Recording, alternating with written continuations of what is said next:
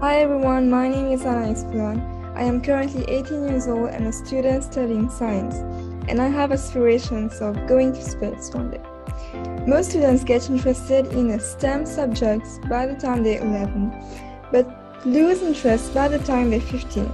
So, what we want to do is keep them interested and engaged in STEM subjects so that they might go into the workforce later. And speaking of the STEM workforce, there are only 28% of women and 7% of African American. So there are a lot of girls out there to inspire, especially.